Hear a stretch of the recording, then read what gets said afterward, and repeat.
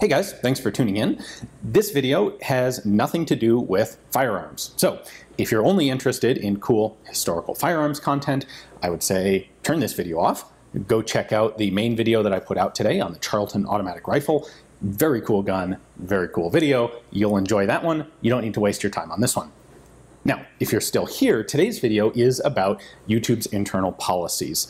This is something that I try not to bring up very often, but it is relevant, uh, has a direct impact on myself and tons of other people who create content that gets published on YouTube. And there's potentially something important and relevant happening, and I wanted to bring it to people's attention those of you who are interested. So uh, I figured I'll do a little bit of commentary here up front, and then I'm going to tack on the entirety of Jorge Sprave's sorry for mispronouncing your name, Jorg. Uh, I'm going to post the entirety of his video at the end of this. If you didn't see it in his channel, you can see it here. So uh, in a nutshell, what I want to get across is YouTube monetization policy is not just about money and monetization. YouTube's monetization policy is integrally tied to YouTube's uh, categorization of videos, their promotion of videos, or the opposite thereof, their squashing of videos. Um, the great majority of videos that you see on YouTube, uh, you watch because YouTube suggests them to you.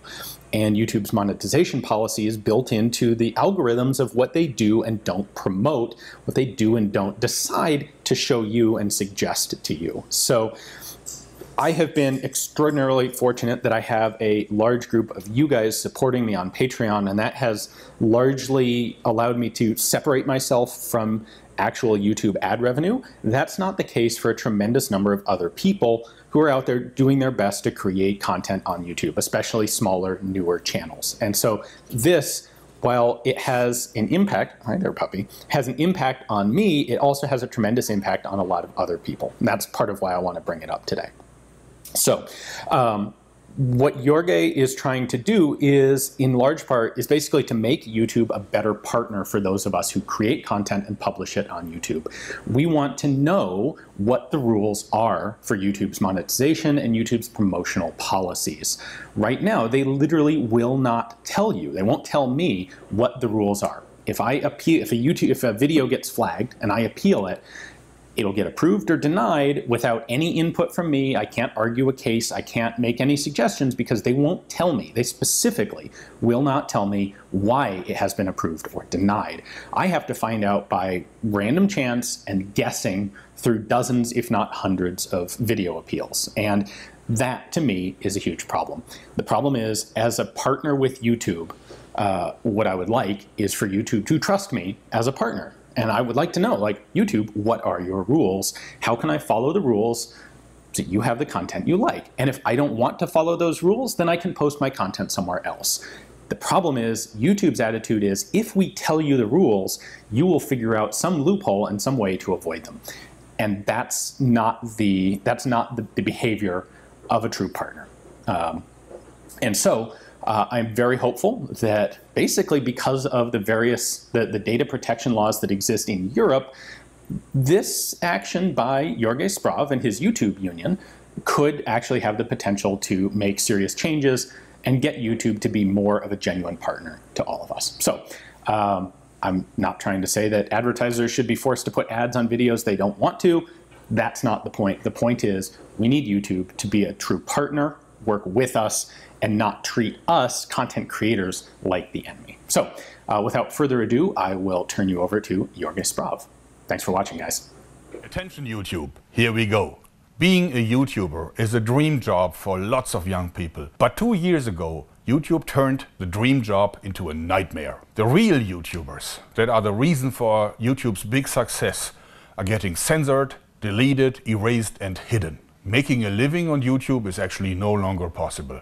Many channels have entirely disappeared or are now reduced to a minimum. There is no job security. It seems like YouTube doesn't want independent YouTubers anymore because now YouTube prefers like channels run by TV stations or Hollywood celebrities. And for those guys, completely different rules apply. They won't be censored, they won't be erased, they won't be kicked out. YouTube is actually pushing these guys with everything they have all this happens simply out of greed for profit, simply because uh, advertisers prefer Will Smith over the independent YouTuber. But YouTube should not be so sure about that strategy. Since one year, we have the YouTubers Union, and we have thousands of YouTubers that are now united and picked up the fight. The only problem is that so far we haven't been able to achieve much, but exactly that is going to change now. IG Metall, the largest independent trade union on the planet, and the YouTubers Union are now joining forces with a clear goal to bring back the old YouTube. We have founded the joint venture Fairtube, and now time will change for YouTube since we have 125 years of experience in the fight against injustice and over 2 million members, plus superb lawyers, are now joining forces with thousands of YouTubers who are really unhappy with the way things go. Together, I think we are completely unbeatable. Fairtube is unbeatable. We want YouTube to actually perform massive changes on their strategy for the benefit of the creators and for the benefit of the entire platform. And in this video, we're going to explain to you how we will achieve it. And at the same time, we're asking for your support. Hello everybody, I'm Jörg Sprave, founder of the YouTubers Union, and we're here in the 15th floor of the IG Metall building in Frankfurt. And I'm here with Christiane Benner.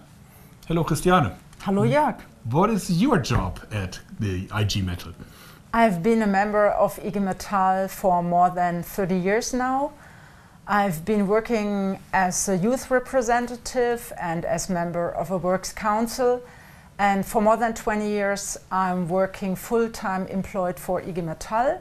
And uh, now I'm vice president of this wonderful union and my job is social justice.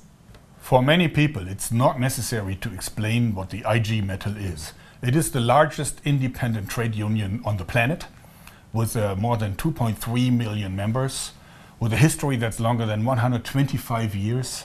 But what many people do not know is that the IG Metall isn't about metal anymore, not just metal anymore. Uh, actually, the IG Metall deals with crowd workers and the working condition of crowd workers and has been doing so for several years. And that, of course, also includes YouTubers. If the uh, IG Metall once decides to enter into a certain fight, then they will not relent. They will fight this to the very end. And for us YouTubers, completely new times begin. It is no longer the case that we are helpless against YouTube. With the IG Metall, we have a strong, strong partner. Especially when the YouTubers are with us. We know from experience that together we can achieve a lot. And this is where the YouTubers Union comes into play. It's quite a young union, only founded in 2018, but already 15,000 members strong. During this time, a lot has already been achieved. Meetings with the YouTube management, even initial concessions, and a lot of press. It's been quite turbulent lately, that's true. But only through Fairtube, our joint venture, can we make things change. And what that means is exactly what we're going to explain to you now.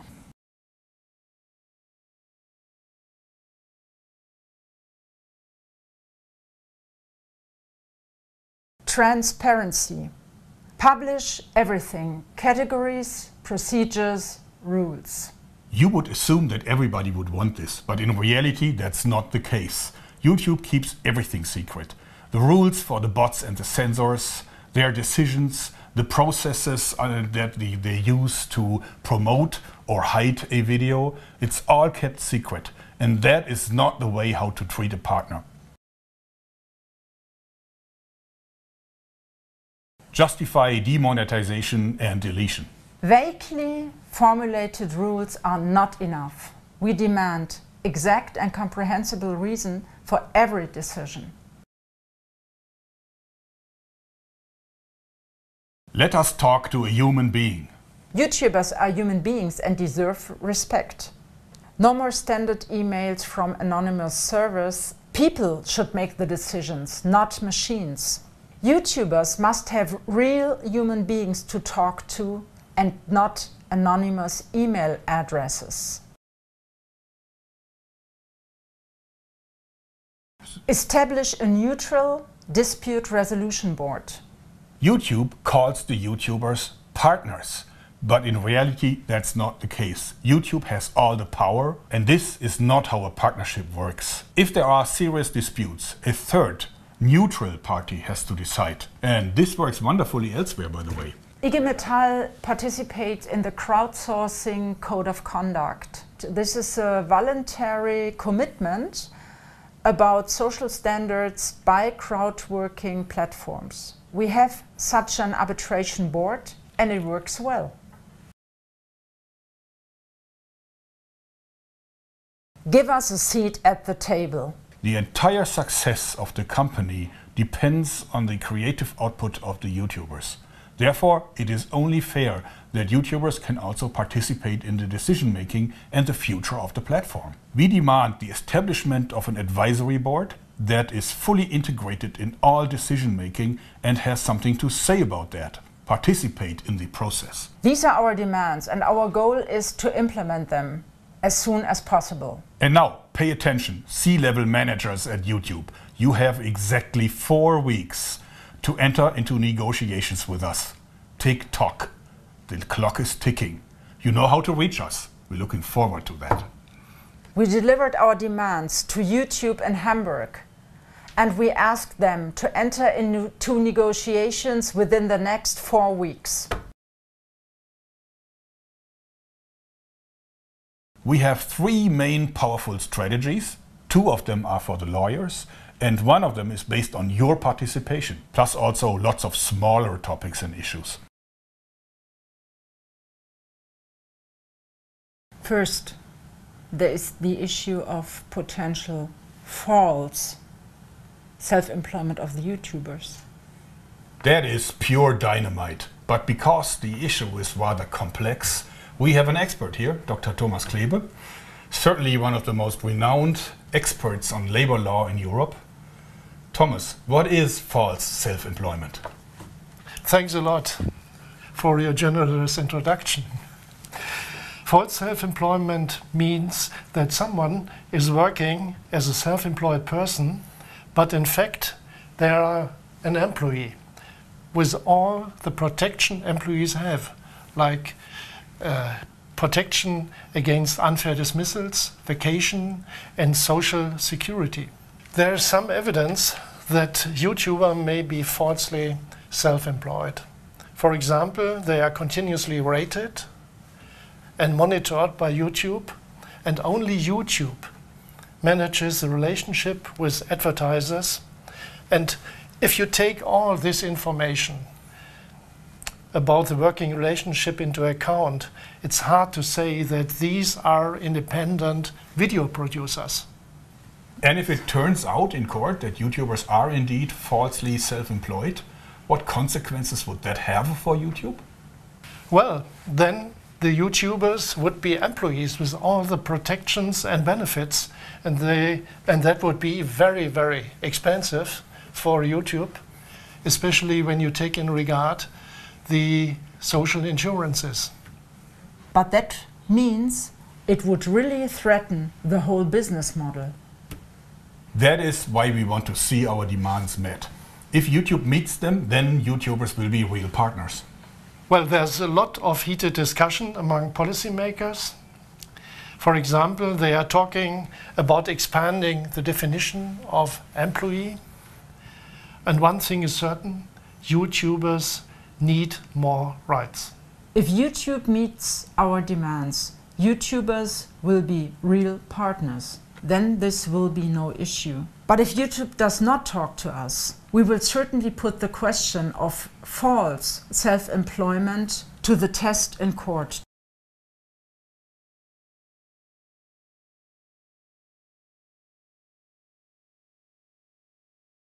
We will certainly put the question of false self-employment to the test in court. There are many possibilities. It will be interesting and exciting.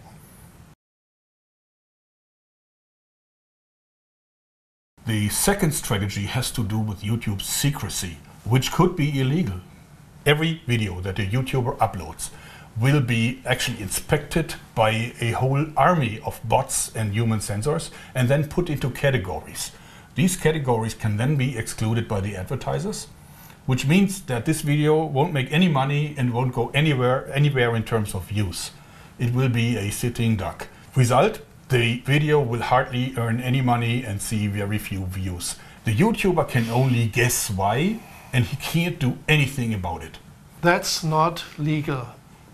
Under the GDPR, platforms like YouTube must give anyone they have personal data about a copy of this data. The General Data Protection Regulation applies to all companies which process personal data. And these are laws that YouTube has to follow as well. And what happens if it turns out that YouTube does indeed violate the GDPR? Violations of the GDPR can be punished with a fine of 4% of the worldwide revenue of the previous year. In 2018, YouTube made billions of dollars, so the fine could be tremendous. Wow, a high price for useless secrecy. Every single violation may lead to another fine. So YouTube has to stop the secrecy. At least in Europe, people have the right to know which data the companies store about them. YouTube still has the chance to settle the issue without high costs. We are looking forward to the discussions. Last but not least, there is another powerful measure. And this is where YouTubers come into play. Help us to make YouTube better for everyone involved. Spread the video, follow us on Facebook and Twitter, and visit our website. And above all, if you are in Germany, join the IG Metall. I did that months ago. Isn't that a pretty little card? uh, the IG Metall is the perfect union for us YouTubers. The more YouTube members the IG Metall gets, the more likely it is that we can end this and turn the nightmare job into a dream job again. On the website fairtube.info, you will find all information about IG Metall membership. We are very grateful for everyone who stands with us. We have a really long list of actions that require your active participation. And we don't want to go into details yet, but I can guarantee this is going to be a shitstorm that hasn't been seen ever before. So, YouTube, now it's up to you. Talk to us. We are sure there will be a solution that works out for everyone. Not only that, but what is YouTube worth without happy YouTubers? Come on, managers at YouTube. You know that we can only keep the platform successful if we work together on this. You now have four weeks to talk to us. So the countdown is ticking. And you can actually follow what is happening on our website fairtube.info. Wow, that's it for today. Very, very big day for the whole of YouTube. Anyway, thanks and bye bye. Bye bye.